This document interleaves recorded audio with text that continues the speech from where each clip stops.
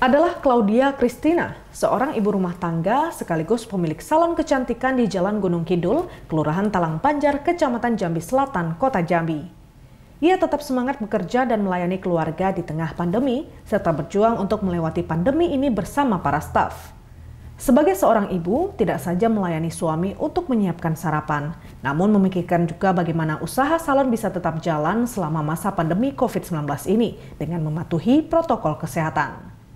Multi peran dilakukan oleh Claudia Christina setiap hari. Mulai menyiapkan kebutuhan keluarga, mengajar anak di rumah selama masa pandemi, serta menemani anak di rumah. Setelah semua urusan rumah selesai, Claudia melanjutkan rutinitasnya sebagai pemilik salon kecantikan di Kelurahan Talang Banjar, Kota Jambi bersama dua orang stafnya. Sebelum salon dibuka, Claudia membersihkan peralatan yang digunakan memakai hand sanitizer, serta menyiapkan hand sanitizer dan air cuci tangan untuk pelanggan.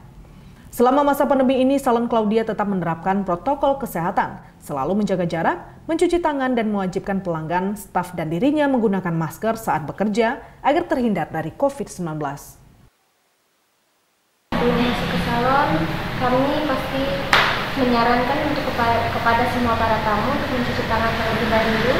Setelah mencuci tangan, kita tetap menyemprotkan hand sanitizer kepada seluruh alat-alat yang digunakan sebelum dan setelah dipakai.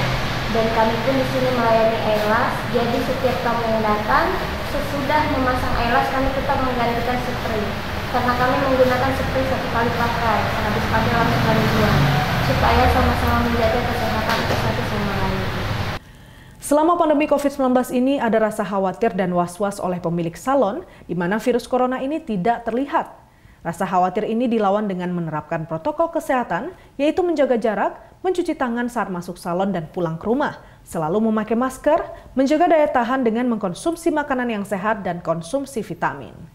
Ibu satu anak ini menghimbau seluruh warga kota Jambi untuk selalu menerapkan protokol kesehatan.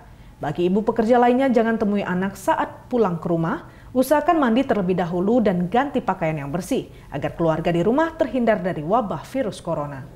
Jumadi, Kompas TV Jambi.